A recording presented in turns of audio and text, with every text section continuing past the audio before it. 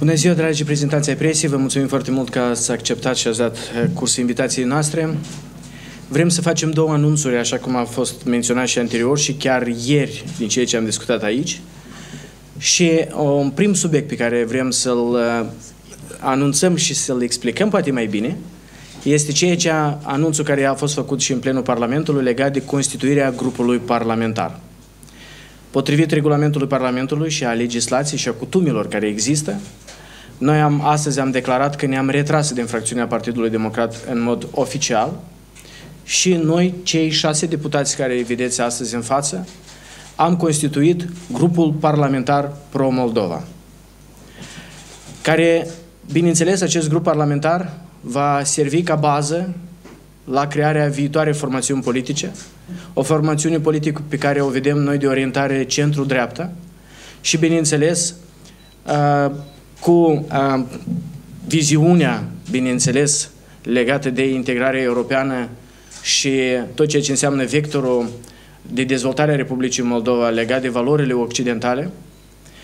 Pro-Moldova nu a fost ales întâmplător ca și concept, ca și idei și ca denumire, deoarece vrem să fie o formațiune politică, un grup parlamentar care apără interesele tuturor cetățenilor Republicii Moldova, indiferent de viziune, indiferent de etnie, indiferent de limba vorbită.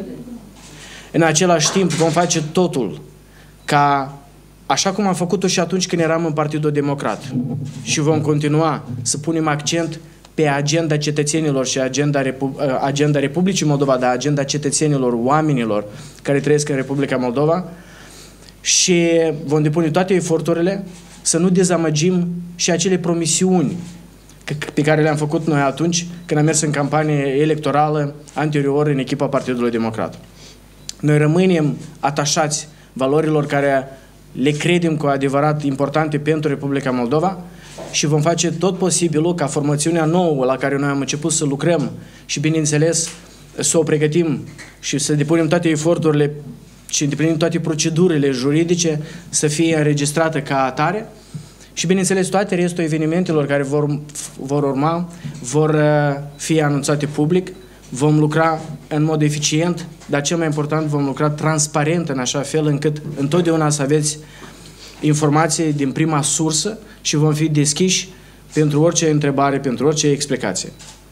În același timp, astăzi, precum am discutat și ieri, și ca dovadă că rămânem atașați valorilor occidentale și credem cu desăvârșire că integrarea europeană este singurul vector de dezvoltare cel mai important pentru Republica Moldova, am inițiat procedura de colectare a semnăturilor pentru proiectul de lege de modificare a Constituției Republicii Moldova legat de vectorul european a Republicii Moldova.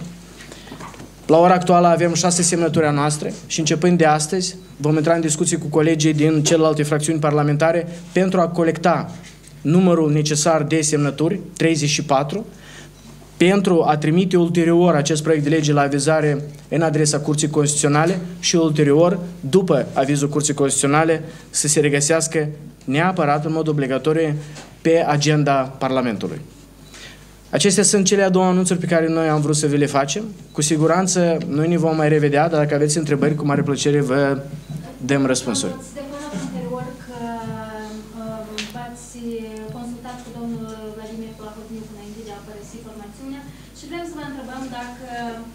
va avea domnul Plahotniuc un rol în noua structură politică? Ați greșit atunci când spuneți și niciodată nu am spus că m-am consultat cu domnul Plahotniuc. Am spus că l-am sunat să-l anunț. Și a fost o chestiune pur umană pe care eu cred că așa trebuie să fie dacă ești sau ai o educație de șapte ani de acasă. Că acea persoană care a investit efort și uh, muncă în creșterea partidului în ultimii 10 ani de zile, mai ales că el este persoana care, cel puțin pe mine personal, m-a invitat în acest proiect politic legat de Partidul Democrat, dar și pe alții din această componență. Eu am considerat că este corect, din punct de vedere moral, ca dumnealui să nu citească din știrile de presă faptul că noi, sau eu, în mod special, am plecat din formațiunea care mi-am dedicat foarte mult în acești 10 ani de zile, și uman este să-l anunți. Deci a fost doar un anunț. Atâta tot, nu a fost o consultare și bineînțeles că dumnealui categoric nu va avea niciun rol și nicio influență asupra acestei noi formațiuni și acestei noi mișcări de centru dreapta pe care noi uh, acum suntem la început de cale de formare despre uh, această colectare semnăturilor. Totuși, primul, cred că, adică cu cine ați putea să discutați, este blocul acum, ce, cele două fracțiuni. Dacă veți iniția oficial discuții cu fracțiunea PAS și PPDA și cum, în general, vedeți colaborarea cu cele două fracțiuni pe viitor? În momentul în care noi astăzi am fost constituiți ca un grup parlamentar distinct, o fracțiune parlamentară distinctă, cu uh, conducerea secretariatul și cu toate cele atribuții prevăzute de regulamentul Parlamentului, în mod oficial vom porni uh, procesul de consultări cu uh, formațiunile din așa numitul bloc acum, adică cele două fracțiuni parlamentare, și inclusiv vom discuta și cu uh, formațiunea Partidului Democrat, foștii noștri colegi, cu siguranță, dacă nu greșim, sau poate greșim, o să întrebăm și pe ei dacă au rămas atașați valorilor europene și vectorului de integrare europeană. Și dacă au rămas atașați, și dacă își aduc aminte de promisiunile făcute inclusiv electoratului Partidului Democrat, atunci nu văd de ce nu ar semna și nu ar subsemna și ei acest proiect de lege, această inițiativă de modificare a Constituției, de completare a Constituției fracțiune PPDA susțin că democrații, Monica Babuc și Dumitru Diacov au blocat uh, examinarea moțiunii de cenzură, uh, moțiunii simple împotriva Ministerului de Externe. Uh, și, în general, ieri am avut deja un anunț oficial că ei nu vor vota această moțiune. Dumneavoastră ați așteptat la asemenea decizie fracțiunii și, în general, cum vedeți această blocare, dacă într-adevăr este o încălcare procedurii? Sigur că noi ne-am așteptat că colegii din Partidul Democrat nu vor susține ideea de a dezbate în plenul Parlamentului și de a susține, în general, moțiunea simplă împotriva împotriva ministrului Ciocoi pentru declarațiile care le-a făcut. Din, uh, și lucrul ăsta l-am înțeles din ezitările pe care le avea și și-a manifestat-o conducerea Partidului Democrat. Noi însă, și eu personal, dar și cu colegii, am discutat acest subiect și noi am declarat, începând de luni, chiar din această săptămână, că vom fi foarte categorici și vom susține această moțiune simplă. Iar în perioadele anterioare chiar am condamnat declarațiile făcute de ministrul Ciocoi, menționând totodată că un ministru de externe trebuie să se ocupe de promovarea politicii externe și nu de interpretarea istoriei. Plecarea din Partidul Democrat s-a decis uh, cu ceva timp în urmă, ori a fost o decizie a dumneavoastră a tuturor spontană, pentru că domnul Diacov spunea că a urmărit acest proces deja de câteva luni și se așteptau la, la un asemenea pas. Dacă domnul Deacov, cu experiența dumnealui, poate citi viitorul și știa ce se va întâmpla ieri, cu trei luni în urmă, noi chiar n-am avut ideea de a părăsi Partidul Democrat de foarte mult timp. În schimb, de foarte mult timp, mai bine zis, de prin la sfârșitul lunii noiembrie, ne-am activizat o grupă de deputați pentru a schimba lucrurile spre bine acolo unde nu funcționa cum trebuie ceea ce credeam noi că nu funcționează cum trebuie în echipa Partidului Democrat și în echipa fracțiunii Partidului Democrat. Am venit cu propuneri, cu inițiative, am avut foarte multe discuții, inclusiv eu personal cu domnul Deacov, uh, dacă nu greșesc, chiar în ultimele o lună și jumătate de vreo 3-4 ore am luat masa doar noi doi. Ne mai vorbim discuțiile pe care le-am avut cu domnul Filip, ne mai vorbim deja de discuțiile pe care le-am avut cu unei reprezentanți așa numitului grup Nichiforciuc. Deci a fost în timp de trei luni de zile discuții foarte multe și colegii pot să confirme că noi în perioada acestor discuții și acestor dezbateri și, aceste, și acestor modalități de a găsi cea mai bună soluție, niciodată nu am discutat despre plecarea din echipa Partidului Democrat. Însă câteva zile în urmă, noi am înțeles că rezistența e atât de mare la o anumită schimbare și la o schimbare legată de eficiență, determinare, o mai bună organizare în fracțiune, în partid, în teritoriu, că probabil confruntarea va ajunge prea, prea intensă și riscăm să trecem unele linii roșii. Și de aceea, pentru a elibera și pe colegii noștri de presiunea pe care noi o făceam pentru schimbare, dar totodată și a ne organizăm noi cum credem noi că este mai bine, fără a trăda valorile în care cu adevărat credem și pe care noi le vom expune încă și le vom dezvolta inclusiv sub platforma parlamentară, uh, fracțiunea sau grupul parlamentar Pro-Moldova, fără să renunțăm la acele valori, am decis să ne organizăm atunci singuri și să ne vedem noi de drumul nostru și de cum considerăm noi că este mai bine să ne organizăm și să muncim. De ce pro-Moldova? Deoarece tot ce vom face noi este în primul rând pentru Moldova. Și interesele Moldovei și a cetățeanului Republicii Moldova vor prevala în toate. Nu interesele, nu așa numita politică echilibrată, dacă vorbim de politică externă. Nu influențele uh, unor grupuri externe sau unor state, dar în primul și în primul rând, tot ce vom face noi, vom pune la bază interesele Moldovei, de aia și e pentru Moldova sau pro-Moldova, și considerăm că dezideratul principal a acestui grup parlamentar, dar și a viitoare formațiuni politice, trebuie să fie agenda socială, agenda economică, reformele mai ales pe justiție și toate acestea să meargă în așa fel încât să ne apropiem cât mai mult de valorile occidentale, cele promovate de țările Uniunii Europene și de Uniunea Europeană.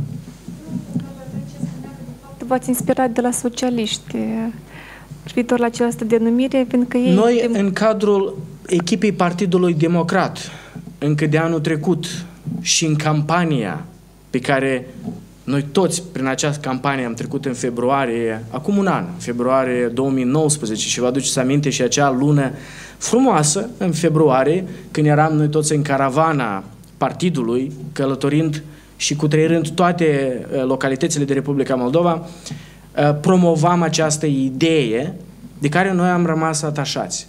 Noi chiar credem că în Republica Moldova această idee poate fi dezvoltată în așa fel încât, pe de o parte, cetățenii Republicii Moldova să aibă beneficiu și, pe de altă parte, clasa politică să aibă beneficiu și Moldova în întregime ca țară apropiată de Uniunea Europeană.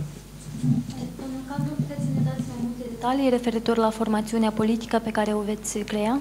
Noi acum, la ora actuală, suntem în procedură de colectare și elaborare a tuturor documentelor necesare pentru a ajunge la punctul în care vom face acele înregistrări sau acele modificări, inclusiv în, uh, legate de, de înregistrarea unei formațiuni. Și bineînțeles, când vom ajunge la punctul uh, final sau culminant, uh, o să vă dăm mai multe detalii, dar suntem la început de cale.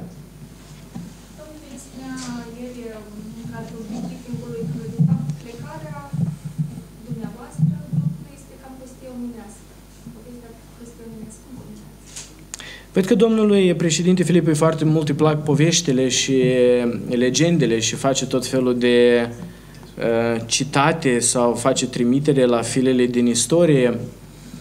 Prostia omenească poate fi descrisă sau uh, relatată diferit. Eu însă aș vrea să mă refer la incapacitatea unui lider. Fiindcă a fi un lider adevărat este a putea să ții o echipă împreună, mai ales dacă este o echipă bună. Și plecarea unei părți din, din echipă înseamnă în primul rând un eșec a acelui lider.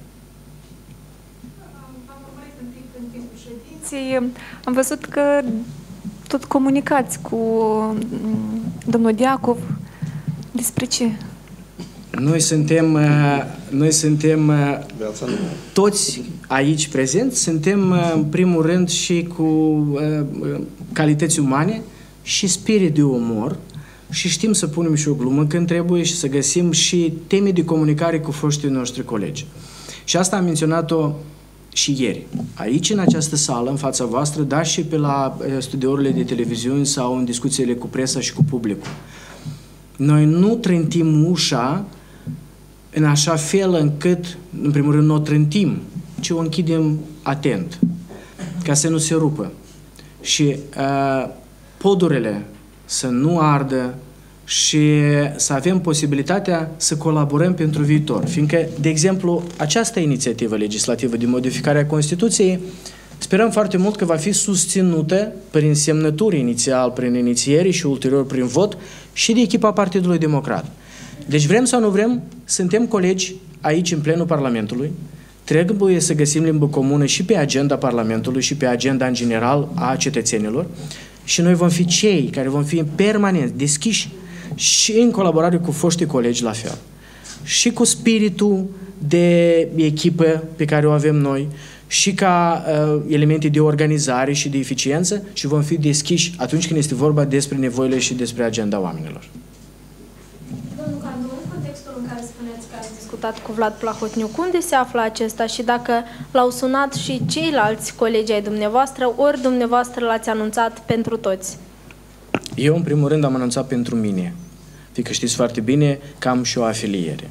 Și dumnealui i-am spus că eu cu câțiva colegi, fără a intra în discuții și detalii cine sunt aceștia, dar eu, în primul rând, aveam obligația morală să-l anunț în privința mea. Și asta am și făcut-o. Și sunt sigur că și dumneavoastră, dacă erați în poziția mea, o făceați la fel. Și ceilalți colegi ai dumneavoastră, deci adresez întrebarea tuturor, l-a mai sunat cineva pe domnul Vlad Plahotniuc ca să-l anunțe despre acest pas?